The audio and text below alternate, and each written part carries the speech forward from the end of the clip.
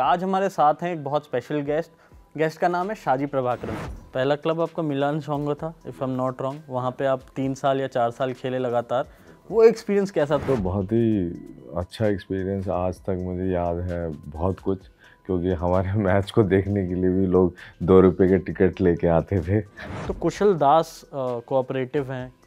Does he listen to ideas Kushal Das ji एक corporate background से आया है ना? और उनसे जो एक्सपेक्टेशन था वो एक्सपेक्टेशन पे बिल्कुल वो खड़े नहीं उतरे। और आपको सबसे जो दुखद घटना है जब मैं इलेक्शन लड़ रहा था सेकंड टर्म दिल्ली का वो डायरेक्ट इंटरफेयर कर रहे थे इलेक्शन में। और मैं पहली बार बता रहा हूँ पब्लिकली हाँ और वो चाह रहे थे कि कोई और जीते इलेक्शन उनको तो एक दिन भी इस पोजीशन में नहीं रहना चाहिए। मेरा अगर ये होता तो यू नो उनको तो सैक कर देना था। जैसे अभी ट्रायल पर एक विवाद हुआ था ट्रायल्स हुए थे दिल्ली फुटबॉल के तो उसमें दो सौ रुपये लिए जा रहे थे प्लेयर से। देखिए ये जो ट्रायल्स के फ़ीस कभी कभी लेते हैं और कभी कभी माफ़ भी करते हैं। ए एफ़ एफ़ ने ए पर दोष लगाया कि आप एलओसी अपॉइंट करते हो। ए कह रही थी कि आपकी गलती है तो उस पर नहीं देखिए ए को आप ब्लेम तभी करो ना जब सारी टीमों पे हो। ए की इंडिया से कोई दुश्मनी थोड़ी ना थी। क्या आप इलेक्शंस में पार्टिसिपेट करने वाले हैं। मैं अपना पैर ज़रूर डालूँगा। 21 जुलाई के बाद मैं फिर आपको पकड़ूँगा। एक बार अच्छे से बात करेंगे इस पर भी। इंडियन फुटबॉल फीफा न जाने कितने साल से इसे एक स्लीपिंग जाइंट कह रहा है। यानी सोता हुआ एक मॉन्स्टर जो कि ग्रो कर ही नहीं पा रहा है। 2004 में हमने एक टारगेट रखा था कि हम 2020-22 के फीफा वर्ल्ड कप जाएँगे। फिर 2015 आते आते कहा गया हम 2036 का वर्ल्ड कप ट्राई कर रहे हैं। लेकिन अब भी ये जो सच्चाई है, जो ग्राउस ग्रास रूट्स है, जो ज़मीनी हकीकत है, ये ऐसा लग नहीं रहा है कि हम 2036 वर्ल्ड कप तक पहुँच पाएँगे। समस्याएँ बहुत थी, समस्याएँ और बढ़ गई हैं। बढ़ने की वजह क्या है? 2020 दिसंबर में प्रफुल्ल पटेल का इलेक्शंस ख़त्म हो गया था। वो तीन बार नॉमिनेट हो चुके थे। उनका 12 साल का जो टेन्योर था, वो ख़त्म हो चुका था। और उसके बाद सुप्रीम कोर्ट ने हाल ही में एक court of committee of administrate administrators hire किया है जो अब ए या, यानी कि ऑल इंडिया फुटबॉल फेडरेशन को संभाल रही है उसके कामकाज को संभाल रही है और ये दिख रहा है कि इंडियन फुटबॉल काफ़ी समस्याओं से गुजर रहा है। एक दौर है जो बीत जाएगा। आज हमारे साथ हैं एक बहुत स्पेशल गेस्ट गेस्ट का नाम है Shaji Prabhakaran. Hello sir Delhi football association के प्रेसिडेंट हैं दूसरे टर्म के लिए इलेक्ट हुए हैं और सिर्फ़ दिल्ली में नहीं इन्होंने पहले केरला में बॉर्न हुए, फिर कोलका, कोलकाता नहीं कहूँगा वेस्ट बंगाल कहूँगा वेस्ट बंगाल गए, और उसके बाद दिल्ली में काफ़ी वक्त बिताया। फीफा के साथ काम कर चुके हैं काफ़ी वक्त एशियन फुटबॉल कॉन्फेडरेशन के साथ काम कर चुके हैं, लेकिन शुरुआत से शुरू करेंगे। सर, केरला में मैंने ऐसा कहीं पढ़ा कि आप केरला में बॉर्न तो हुए, जो कि गॉड जोन कंट्री है, जहाँ फुटबॉल को इतना प्यार किया जाता है।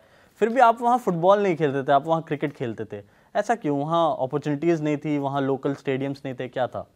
नहीं, ऐसा नहीं था कि, देखिए सही बात है कि मैं जस्ट पैदा हुआ पाँच साल अपने फाइव इयर्स का था तभी मैं बंगाल शिफ्ट हो गया था क्योंकि मम्मी पापा वहाँ ही अच्छा। उनका बिज़नेस था। तो इस वजह से वहाँ शिफ्ट होना पड़ा। तो कोलकाता में जाते ही you fell in love with football या कि आपको केरला से ही प्यार था इस गेम से? नहीं केरला का तो खैर हमारा अनुभव ही नहीं था कि हम तो बहुत बच्चे थे उस टाइम लेकिन बंगाल पे जब बड़े हो रहे थे जब आठ नौ साल के ही थे तभी हम्म। से ही फुटबॉल का एक मन और बहुत घर के करीब ही हम्म। फुटबॉल का ग्राउंड था वहाँ देखते थे कि बहुत बड़े हमारे भैया लोग खेल रहे हैं तो वो वैसे ही आकर्षित हो गए और बस वहीं से ही ये जो लगाव है सब कुछ वहीं से शुरू पैदा हुआ है और वहीं हमें खेलने का मौका मिला हम्म। बड़ा होने का मौका मिला बस पहला क्लब आपका मिलान शोंगो था इफ़ yes. नॉट रॉन्ग वहाँ yeah. पे आप तीन साल या चार साल खेले लगातार वो एक्सपीरियंस कैसा था वो जो एक इलाके में मोहल्ले में खेलने का एक एक्सपीरियंस होता है उससे एक क्लब में ज्वाइन करने का और वो जो फ़र्स्ट पेपर साइनिंग होती है कि हाँ आप डिस्ट्रिक्ट खेलेंगे या आप अंडर सिक्सटीन लेवल पे लोकल लीग्स खेलेंगे वो एक्सपीरियंस कैसा था? नहीं वो तो बहुत ही अच्छा एक्सपीरियंस आज तक मुझे याद है बहुत कुछ क्योंकि हमारे मैच को देखने के लिए भी लोग दो रुपये के टिकट लेके आते थे और मैंने गोल भी किए हैं तो मुझे याद है। तो आप फ़िज़िकल एजुकेशन की पढ़ाई की आपने ग्वालियर में तो जब आप स्कूल में थे उसमें आप एक क्लास या दो क्लास खेल लेते होंगे या स्कूल के पहले या स्कूल के बाद खेल लेते होंगे उससे उसके बाद आप सीधे ऐसे एनवायरनमेंट में गए जहाँ आपको खेलना ही था। क्लासेस ऑब्वियसली होती हैं दो तीन थियोरेटिकल क्लासेस भी होती हैं लेकिन ज़्यादा खेलना ही था। तो ये जो शिफ्ट इन एनवायरनमेंट है इसके बावजूद आप प्रोफेशनल फुटबॉलर नहीं बने। ये क्यों हुआ? देखिए शायद मैं बन जाता लेकिन मुझे जो चोट लग गई इंजरी की वजह से नहीं हो पाया क्योंकि जब मैं बिल्कुल पीक पे जा ही रहा था और शायद संतोष ट्रॉफी भी खेल लेता। फीफा तक आप कैसे पहुँचे?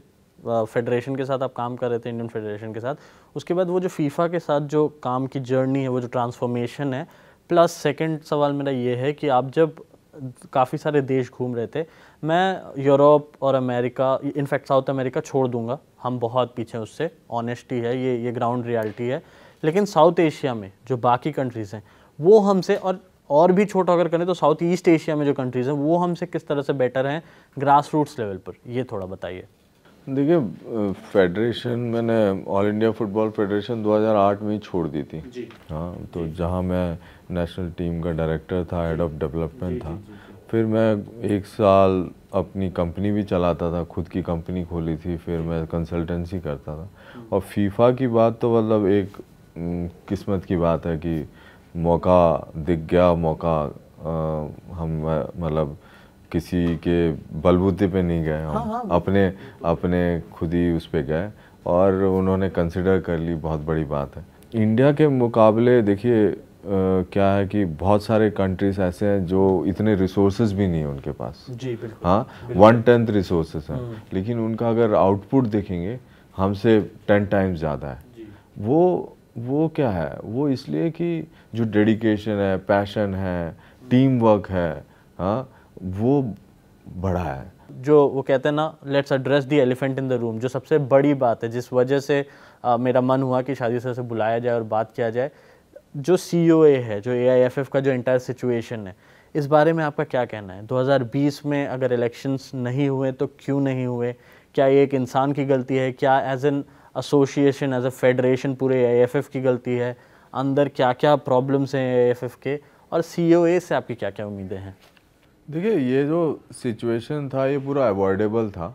हाँ लेकिन सुप्रीम कोर्ट का इंटरवेंशन हो गया और ये बहुत ही मतलब उम्मीद थी कि होगा क्योंकि जब इलेक्शन हुए नहीं टाइम पे आ, 2020 दिसंबर पे तो उसके बाद से ये तय था कि ये आज या कल की बात है हम्म। और वो हो गया आखिर में।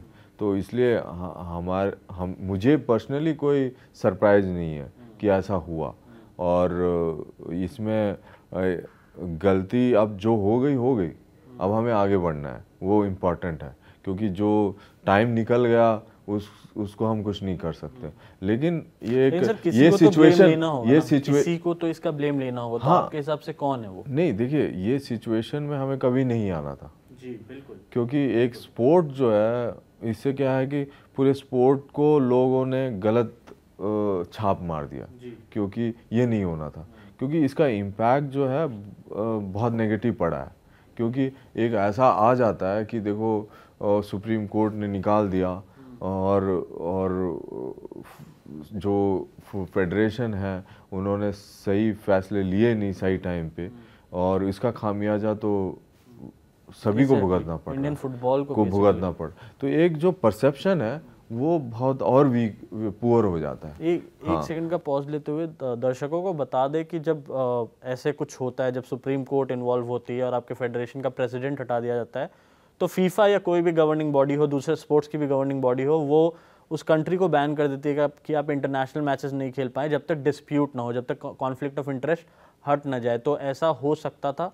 अभी ऐसा हुआ नहीं है। फीफा को आपने भी शायद एक लेटर लिखा था।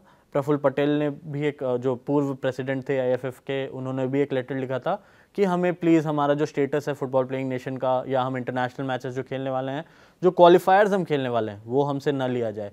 तो ऐसा क्यों? ये क्या है ये हैंड्स ऑन प्रेसिडेंट नहीं थे okay. क्योंकि इन्होंने अपना मतलब ये बहुत की डिसीज़न ही लिया करते थे। बहुत कुछ इन्होंने अपने जनरल सेक्रेटरी को ये दे छोड़ रखा था। तो वो एक बहुत बड़ा गैप था। आपने कुशल दास की बात की कि Praful Patel had closed all doors कि उनके पास एक ही पॉइंट ऑफ़ कांटेक्ट था उन्हीं से उनको सारी इन्फॉर्मेशन तो कुशल दास कोऑपरेटिव हैं। Does he listen to ideas क्या उनके पास आप 24 फोर आवर जा सकते हैं, बात कर सकते हैं? If not 24 four hour available रहते हैं लोगों के साथ बात करने के लिए विद इन द इंडस्ट्री और कोई है ए एफ़ एफ़ में, जैसे Abhishek Yadav he is at a prime position right now तो क्या इन लोगों से आप बात कर पाते हैं? नहीं देखिए क्या होता है कि या Sunando Dhar for that matter नहीं इसमें देखो इंडिविजुअल्स की बात होती नहीं है। Okay. जब एक आप इंस्टीट्यूशन होता है ना इंडिविजुअल्स तो आते जाते रहते हैं कि आप क्या स्ट्रक्चर बना रहे हो क्या पॉलिसीज़ हैं वो ज़्यादा मैटर करता है। इस इंस्टीट्यूशन से इंडिविजुअल्स हाँ, जा ही नहीं रहे ना कितने साल हाँ से। तो मैं उस पर आ रहा हूँ।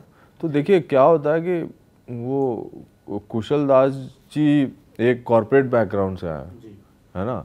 और उनसे जो एक्सपेक्टेशन था वो एक्सपेक्टेशन पे बिल्कुल वो खड़े नहीं उतरे। बिल्कुल। ये एकदम मतलब अपफ्रंट बात है। और ये मैंने मतलब बहुतों से कहा है। क्योंकि उनसे जो एक्सपेक्टेशन था क्योंकि वो आईसीसी में सीएफओ रहे हैं आईएमजी में काम किया है और वो खुद ही चार्टर अकाउंटेंट हैं सेंट स्टीफन के प्रोडक्ट हैं हाँ? और उन्होंने अपने आप को एक यू नो जनरल सेक्रेटरी का एक चीफ एग्जीक्यूटिव का रोल है। ओके तो उन्होंने लेकिन वो रोल को ना निभाते हुए उन्होंने मिस्टर पटेल का रोल निभा लिया। उन्हीं की रिस्पॉन्सिबिलिटी है देखिए जो लीगल पॉइंट ऑफ़ व्यू है या सुप्रीम कोर्ट में ये पहले आपको आया कि आप कॉन्स्टिट्यूशन को बदलो ये बदलो ये उन्हीं को ही जाके कहना था। क्योंकि लीगल रिपोर्ट्स टू हाँ जनरल सेक्रेटरी हाँ। कि आ, क्या करना है क्या नहीं करना है कब करना है कि एसोसिएशन क्राइसिस में न चले जाए और आपको सबसे जो दुखद घटना है जब मैं इलेक्शन लड़ रहा था सेकंड टर्म दिल्ली का वो डायरेक्ट इंटरफेयर कर रहे थे इलेक्शन में। और मैं पहली बार बता रहा हूँ पब्लिकली अच्छा हाँ और वो चाह रहे थे कि कोई और जीते इलेक्शन हाँ और मुझे नहीं पता वही बता सकेंगे? मैं कैसे बताऊँ? और वो ऐसे कर रहे थे कि जैसे वो खुद कैंडिडेट है। अच्छा। हम्म, और उनको जबकि करना नहीं चाहिए था और ये चीज़ उनको तो एक दिन भी इस पोजीशन में नहीं रहना चाहिए। ये है मेरा कहना। उनको तो मैं तो मतलब मेरा अगर ये होता तो यू नो उनको तो सैक कर देना था। क्योंकि he is unfit to be in that position क्योंकि he is not fair he is not neutral और देखिए आप अपना जो प्राइम रिस्पॉन्सिबिलिटी है वही नहीं कर पा रहे। हैं? और एसोसिएशन को आपने क्राइसिस में डाल दिया। जी। वो ही सबसे बड़ा कारण है। आज के दिन जो क्राइसिस है वो है रिस्पॉन्सिबल आप मुझे मैं आपसे जो पूछना चाह रहा हूँ कि एक अगर बेसिक अगर आप एक नंबर तक जाना चाहें कि मुझे एक स्टार्टिंग अमाउंट के हिसाब से दिल्ली छोड़ देते हैं या दिल्ली का ही एग्ज़ाम्पल ले लेते हैं कि इतना होगा तो मैं ईयर ऑन ईयर जैसे पाँच साल में सपोज़ कीजिए ढाई करोड़ रुपया अगर मुझे मिलता है तो I will be able to kick start मैं कुछ शुरू कर पाऊँगा और उसको मैं एक सस्टेनेबल तरीके से बढ़ा पाऊँगा फुटबॉल नहीं देखिए मेरे हिसाब से क्या है कम से कम 25 लाख से लेके ऊपर ही देना चाहिए। हर स्टेट को मतलब ये 75 लाख भी हो सकता है करोड़ भी हो सकता है लेकिन ये आपके पास कितना फंड हाँ। कितना है कितना देना चाहोगे तो उसी एरिया में और उसको बढ़ते रहना चाहिए। पिछले 10 साल में एएफएफ ऐसे ऑर्गेनाइजेशन ऊपर चला गया स्टेट ऐसे ऑर्गेनाइजेशन कमज़ोर हो गया क्योंकि जो जो एक सिनर्जी नहीं है बिल्कुल नहीं है बिल्कुल नहीं है। बिल्कुल नहीं है पहले थी। ठीक जिस जब मैं काम करता था एएफएफ में तो बहुत सिनर्जी थी। वो स्टेट को प्रायोरिटी मिलती थी। स्टेट को कभी अनदेखा ही नहीं होता था। अगर आपके यहाँ वर्ल्ड कप हो रहा है आपको ही नहीं पता कि स्टेट में कुछ हो रहा है। ये आज के माहौल। आपके क्या सजेशन हैं सीईओ के उस कॉन्स्टिट्यूशन के लिए? नहीं देखो हमारा तो अभी टीम वर्क है। हम जो बोल रहे हैं वो सारा स्टेटों के बिहाफ में बोल रहे हैं। मैं अपने State के व्यक्ति विशेष नहीं बोल सकता कुछ। As a president of Delhi football association आपका क्या सजेशन नहीं नहीं बहुत हमने सजेशन दे दिए सब सही है क्योंकि जो जो कॉन्स्टिट्यूशन बना है उसमें बहुत सारी चीज़ें अच्छी हैं। हाँ बिल्कुल बस लेकिन बिल्कुल, उसको प्रैक्टिकली कैसे करें ये है और कुछ नहीं। तो हमारा देखो हमने सब खुल के सभी स्टेटों के साथ डिस्कस किया। तो you know there is nothing अभी कोई पर्सनल है इसमें। कुछ भी नहीं है। इक्कीस जुलाई के बाद मैं फिर आपको पकड़ूँगा एक बार अच्छे से हाँ बात करेंगे क्योंकि जब भी। कंफ्यूजन बाहर आ जाए उसके बाद हम इस पे बात कर सकते हैं कि क्या मतलब होना कहीं अगर कुछ ऐसी चीज़ें आ जाए या कुछ और बेटर आ जाए अच्छी बात है। सीओए में कल जो मीटिंग हुई या आठ को जो मीटिंग हुई थी इसमें ओपन लीग का डिस्कशन हुआ जो टॉप टीयर है इंडियन फुटबॉल का। अब इंडियन सुपर लीग उसको ओपन करने का कोई डिस्कशन हुआ? वैसे पहले भी आ चुका था कि वैसा कुछ नहीं हुआ ये पार्टी नहीं है। ये पार्ट नहीं है। तो मतलब टॉप टियर क्लोज लीग रह सकती है। नहीं ऐसा कुछ नहीं है। वो तो देखो सीओ का पार्ट ही नहीं है ये। ड्राफ्ट कॉन्स्टिट्यूशन का पार्ट होगा ऑपरेशनल पार्ट नहीं कॉन्स्टिट्यूशन में ये कभी लीग क्या होना चाहिए नहीं होना चाहिए ये तो होता ही नहीं। अच्छा हाँ तो एक ये तो ऑपरेशनल पार्ट है ये तो ये तो ऑपरेशनल पार्ट है और वो ये गलत से न्यूज़ आ गया था आई लीग के बारे में। हाँ। हाँ क्योंकि जब उन्होंने ड्राफ्ट किया था तब I S L was not the top league उसके बाद सारे जब उन्होंने 2018 में वो ड्राफ्ट कॉन्स्टिट्यूशन बनाया था तब रोड मैप नहीं बना था लीग का। तो अब रोड मैप बन के स्टैंप लग चुका है। सारे क्लब इसमें मंजूरी दे दी है। एएफसी का एग्जीक्यूटिव कमेटी में पास हो गया। तो ISL is the top league उसमें कोई क्वेश्चन ही नहीं है शक नहीं है। शक ही नहीं। हाँ। नहीं वो नहीं सवाल वो नहीं है। मेरा मेरा कहने का मतलब है कि आई आईएसएल ने भी अनाउंस कर दिया है कि अब ओपन हो जाएँगे वो। नहीं वो तो रोड मैप में है ना। हाँ प्रमोशन रेलिगेशन वो तो रोड मैप में है तो वो एज इट इज़ होगा। उसमें तो कोई संदेह होना ही नहीं चाहिए। चलिए वो भी सही है। आपने लीगल के बारे में नहीं बताया कि तीन करोड़ रुपए के बारे में आपने जो लेटर लिखा प्रफुल्ल पटेल को ये नंबर कहाँ से आया आपके पास? उसके जवाब में कुशल दास ने भी कहा है कि इतना नहीं होता एक करोड़ के आसपास लीगल है नहीं नहीं देखिए हम हमारे पास बैलेंस शीट है एएफएफ का ना। जी। तो उसमें लीगल फ़ी का जो हेड है legal fees and professional fees उसमें तीन करोड़ छब्बीस लिखा हुआ है three point two six crore ठीक है? तो उसी बेसिस पे लिखा। नहीं हमारे पास कोई जवाब तो आया नहीं। कुशल दास ने पब्लिक फोरम में वो तो पब्लिक में वो कुछ भी बोले अच्छा, वो ठीक है। नहीं लेकिन हमारा एक कहने का मतलब ये था देखिए कि आप ऐसी चीज़ों में पैसा ना खर्च करें जिसकी ज़रूरत ही नहीं थी। हाँ तो वो अब हो गया अब आई एग्री नॉर्मलाइजेशन कमेटी के बारे में आपने लिखा प्रफुल्ल पटेल को। उस पर कुशल दास ने कहा है कि अ, वो हैम्पर करता है। अगर नॉर्मलाइजेशन होता है तो एक स्टेटस को और वो सारी चीज़ें। उस पर आपका क्या कहना है? नहीं नहीं देखिए उस टाइम क्या होता है कि ऐसे फीफा स्टैचूज पे जाएँगे आर्टिकल चौदह पे आ, आप बिना इलेक्शन के कोई भी अपने पद पे नहीं रह सकता। बिल्कुल। ये है। तो अगर वो नहीं होता है तो फीफा नॉर्मलाइजेशन कमेटी बना सकता है। ये है तो इंडिया की सिचुएशन वो थी। उस वक्त वो नेशन फुटबॉल खेल सकता है इंटरनेशनल हाँ हाँ सब कुछ खेल सकता है। नॉर्मलाइजेशन मीन नॉर्मलाइज बैन खाली बैन होता है तो आप नहीं खेल सकते। तो वो इनको भी नहीं पता। वुमेंस फुटबॉल की तरफ़ बढ़ेंगे क्योंकि बहुत इंपॉर्टेंट है और बहुत हमने इस सीज़न का जो इंडियन वुमेंस लीग देखा बहुत कॉम्पिटेटिव था। लास्ट मैच तक वो इंटरेस्ट बनाए रखा। लास्ट में गोकुलम जीती फिर से। अ, और उसके साथ साथ सेतु एफसी है हंस एफसी है। बहुत अच्छी टीम्स आ रही है बहुत अच्छी लड़कियाँ आगे आ रही हैं। लेकिन जितना फोकस उस पर किया जा रहा है, क्या वो काफ़ी है? जितना ग्रास रूट्स पे उस पर काम हो रहा है, मुझे तो प्रैक्टिकली नॉन एग्जिस्टेंट अगर मैं कहूँ तो गलत नहीं कहूँगा। नॉन एग्जिस्टेंट टाइप लगता है मुझे कभी कभी football women's football grass root level पर। तो उस पर कितने काम करने की ज़रूरत है और उसके अलावा आप मुझे ये भी बताइए कि जो पिचेस के कंडीशंस के रिपोर्ट्स आए थे 2020 या 19 में जब आईडब्ल्यूएल हो रहा था, इस सीज़न काफ़ी इम्प्रूव हुआ है, लेकिन अगर आप उसके नीचे के डिविजन देखें तो अब भी बहुत सारे पिच खराब होने के कंडीशन आए दिल्ली में एक दो खबरें थी। तो इस पर क्या किया जा रहा है? नहीं देखिए विमेंस फुटबॉल को और फोकस देने की ज़रूरत है। इसमें कोई दौर है नहीं।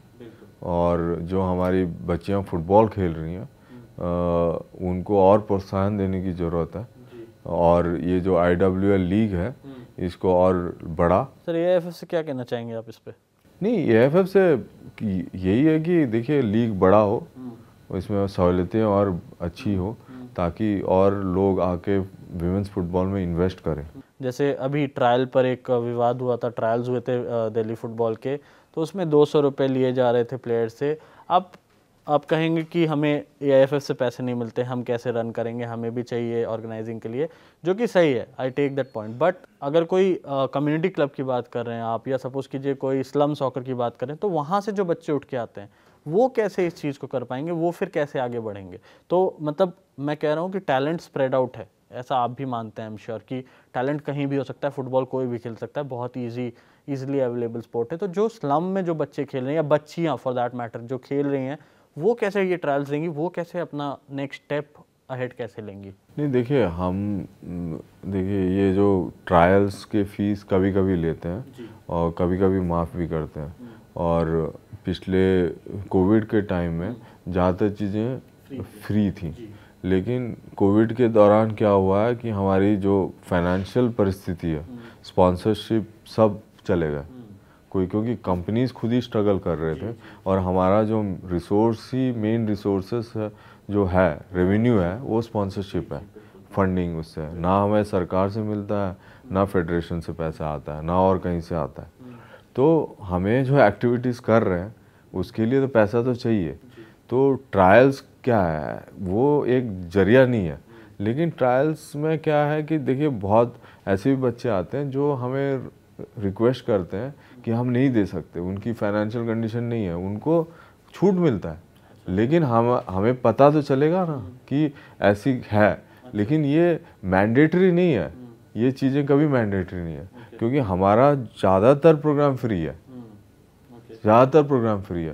देखिए जो हम लीग भी करते हैं कहीं कहीं हज़ार रुपये ही एंट्री फ़ी आप कहीं और स्टेटों में जाओगे पचासी हज़ार रुपये लेते हैं कहीं दो लाख रुपये लेते हैं लीग खेलने के लिए एक टीम से।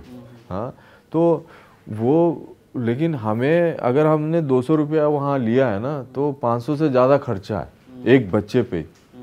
सर ने कहा कि आ, कई बार अगर आप गरीब हैं अगर आप स्लम सॉकर या ऐसी जगह से आ रहे हैं तो आप बातें करें आप बात कीजिए और अप्लीकेशन के लिए अप्लाई करने के लिए और ट्रायल्स में पार्टिसिपेट करने के लिए कई बार ये कंसिडर किया जाएगा। अगर आप फ़ीस नहीं भी दे पा रहे हैं उसका तो आपको लिया जाएगा ट्रायल्स में। और अगर आ, अगर आपके पास काबिलियत है तो थोड़ा बहुत कंट्रीब्यूट कीजिए। अगर आप ठीक ठाक फैमिली से आते हैं आप उस स्पोर्ट से प्यार करते हैं जो ग्रो कर रहा है तो कंट्रीब्यूट कीजिए और फुटबॉल को आगे लेकर चलते हैं। सर लास्ट दो सवाल हैं और उसके बाद रैप अप करेंगे। आ, पहला सवाल तो ये कि वुमेंस फुटबॉल पे ही बात करूँगा और एक ए जैसे अपने प्रफुल्ल पटेल के जो सारे ये थे अचीवमेंट्स उसमें गिनाए उसमें एक ए एशियन कप भी हुआ वुमेंस का I think earlier this year it happen in January उसमें हमारी वुमेंस टीम पहला मैच खेली, नहीं जीत पाई। दूसरा और तीसरा मैच हम कोविड की वजह से ओमाइक्रन की वजह से बाहर हो गए। आप एक लोकल ऑर्गेनाइजेशन कमेटी के मेंबर रह चुके हैं 2017 वर्ल्ड कप में। आप चिली भी गए थे 2017 अंडर 17 वर्ल्ड कप 2015 के लिए और उसके बाद 2017 इंडिया में हुआ। It was a magnus opus like magnum opus बहुत अच्छा था। I was reporting at that time मैं उस वक्त पत्रकारिता कर रहा था ग्राउंड रिपोर्टिंग कर रहा था तो बहुत सारी खबरें की थी मैंने। तो उससे लेकर 2021 तक की जर्नी सॉरी 2022 तक की जर्नी इस वक्त इस बार हमने क्या क्या गलत किया आपके हिसाब से uh, अंदर से काफ़ी सारी खबरें आई आपको भी पता होगा आई एम श्योर तो आपके हिसाब से where did we go wrong नहीं हमें देखिए ऐसे होस्ट हमें एक्स्ट्रा प्रिकॉशंस लेने थे जी होस्ट का जो एडवांटेज होता है हम्म। वो हमें पूरा लेना था हम्म। और हम इसमें देखिए पचास से सौ करोड़ खर्चे हुए होंगे हम्म। और मकसद क्या था कि हमारी टीम खेले, खेले और वर्ल्ड कप क्वालिफिकेशन होने का एक बड़ा मौका था ऐसे होस्ट तो वो हमने उस सिचुएशन का लाभ नहीं उठाया। तो कोविड देखिए सबके लिए था। जी खाई ऐसा नहीं था कि खाली इंडिया टीम के पीछे पड़ी थी कोविड नहीं था। तो हमें ऐसे होस्ट एक्स्ट्रा प्रिकॉशन रखना था। जैसे बाकी टीमें रख रही थी। जापान की टीम चाइना की टीम कोरिया की टीम। वो बाहर से आके उनको कोविड नहीं हुआ। नहीं हुआ क्योंकि वो प्रिकॉशन ले रहे थे। तो इसमें देखिए इसमें मैनेजमेंट की गलती है कि उन्होंने प्रिकॉशन नहीं ली खिलाड़ियों की गलती इसमें कुछ नहीं। नहीं बिल्कुल भी नहीं। खिलाड़ियों की टीम की गलती नहीं है। तो ये मैनेजमेंट की तरफ़ से गलती हुई है और इस पर ज़रूर एक इंक्वायरी भी होनी थी। इंक्वायरी हम्म। नहीं हुई और जो भी अकाउंटेबल था उस पर एक्शन भी लेना चाहिए था। वो भी नहीं हुआ। और देखिए इसमें क्या हुआ कि नुकसान बहुत बड़ा अकाउंटेबिलिटी भी तो पुश अराउंड की गई ना। अकाउंटेबिलिटी इस तरह से पुश अराउंड की गई कि एएफएफ ने एएफसी पर दोष लगाया कि आप एलओसी अपॉइंट करते हो। एएफसी कह रही थी कि आपकी गलती है तो उस पर नहीं देखिए एएफसी को आप ब्लेम तभी करो ना जब सारी टीमों पे हो। जी एग्जैक्टली exactly. क्योंकि एएफसी की इंडिया से कोई दुश्मनी थोड़ी ना थी कि आपने वैसा कर दिया। लेकिन वो कोच देखिए कोच का जो स्टेटमेंट था वो चलो वो क्योंकि भावुक थे इसलिए दे दिया उन्होंने। या शायद कोई दूसरा प्रेशर वो हो। कोई बात वो पता नहीं। लेकिन देखिए आखिर में क्या है कि वो वो चली गई। अब हो गई। उससे एक बड़ा सबक लेना चाहिए कि देखिए हमने कि सरकार का बहुत पैसा लगाया उस पर अपने भी पैसे लगे। ये बच्चियाँ कहाँ कहाँ गए नहीं गई ब्राज़ील तक गई। बिल्कुल है ना? बिल्कुल। तो सरकार ने लगा मनीषा कल्याण का वो गोल हाँ, ब्राज़ील तो के बिल्कुल। का। तो वो पैसा जो लगा वो वो इसलिए नहीं लगा था कि हम मतलब देखिए हार जीत अलग बात होती हम्म। है लेकिन हमें हर चीज़ को सीरियसली लेना है। और उसको एक एग्ज़ाम्पल सेट करना है। तो हम खुद होस्ट कर रहे हैं और खुद बिल्कुल बेजिम्मेवार हो जाए ये नहीं होना चाहिए। सर आखिरी सवाल ये आपका पर्सनल ओपिनियन आप देना चाहें तो दे सकते हैं या आप as D F A president देना चाहें तो चाहें। पहली तो ये कि आप अ, क्या are you going to throw your hat in the ring क्या आप इलेक्शंस में पार्टिसिपेट करने वाले हैं? दूसरा ये उसी का एक दूसरा हिस्सा है कि you get into a position of power आपके पास पावर आती है किसी भी रोल में। मैं प्रेसिडेंट नहीं कह रहा हूँ आप किसी भी रोल में आई एफ़ एफ़ ज्वाइन करते हैं फिर से। तो what will be the three steps तीन बड़े बड़े स्टेप्स ऐसे क्या होंगे जो आप इम्प्लीमेंट करना चाहेंगे? ग्राउंड लेवल पे करना चाहें टॉप लेवल पे करना चाहें ओपन टू यू आपकी चॉइस है। देखिए, वो मैं प्रेसिडेंट का इलेक्शन लड़ूं, नहीं लड़ूं, ये अभी बहुत टाइम है इसके बारे में। तो इसलिए मैं अभी, मैंने सोचा भी नहीं है और मेरे दिमाग में भी नहीं है, क्योंकि अभी हम एक ट्रांजिशन पीरियड में चल रहे हैं और इस वक्त मेरा पूरा कोशिश यही है कि हम ज़्यादा से ज़्यादा कंट्रीब्यूट करें ताकि ये सिचुएशन से हम कैसे जल्दी से जल्दी अब तो अब तो ट्रांजिशन का एंड स्टेज अब तो we are seeing light at the end of the tunnel वाली बात हो गई। तो अब तो मतलब there are not a lot of people बहुत सारे लोग नहीं हैं इंडियन फुटबॉल में जिनके पास एक्सपीरियंस हो दूसरे कंट्रीज़ में काम करने का जिनके पास एएफसी का एक्सपीरियंस हो जिनके पास मीडिएट करने की एबिलिटी हो जिन्होंने स्टेट फेडरेशन चलाया हो। तो why are you not just you know convinced आप पूरी तरह से इस इस नहीं नहीं देखिए मेरा क्या है मैं आपको अपफ्रंट अगर बोलूँ जी। तो मैं अपना पैर ज़रूर डालूँगा उस उस वक्त जब मुझे लगेगा कि जो मैदान पे हैं वो वैसा कंट्रीब्यूट नहीं कर पाएँगे। जैसा मैं जैसा नहीं। जैसा फु, इंडियन फुटबॉल की काबिलियत है। अच्छा ओके हाँ। होना चाहिए जैसा। होना चाहिए। और चीज़ें आज जैसे हम स्ट्रगल कर रहे हैं ये तो बिल्कुल देखना नहीं चाहेंगे कभी भी किसी से भी। तो अगर वो मुझे अगर दो परसेंट भी लगेगा तो मेरी कोशिश ये रहेगी कि मैं कैसे इस पर पूरा ज़ोर लगाऊँ। ठीक है हाँ, मैं थोड़ी सी आज़ादी लेते हुए जर्नलिस्टिक फ्रीडम लेते हुए बोलता हूँ कि हाँ ही इज़ इंटरेस्टेड इलेक्शंस में शायद हम देखें डॉक्टर शाजी प्रभाकरन को इलेक्शन में पार्ट लेते हुए। सर दूसरा सवाल वही स्टैंड करेगा कि तीन स्टेप्स ग्रास रूट्स हो या टॉप लेवल हो आप क्या लेना चाहेंगे? नहीं देखिए इसमें कोई भी हो मतलब देखिए प्रायोरिटीज क्लियर होनी चाहिए। सेम क्योंकि ये इंडिविजुअलिस्टिक नहीं है। जी। कुछ चीज़ें फंडामेंटल होती हैं। वो आप करोगे नहीं तो कुछ नहीं होगा। है?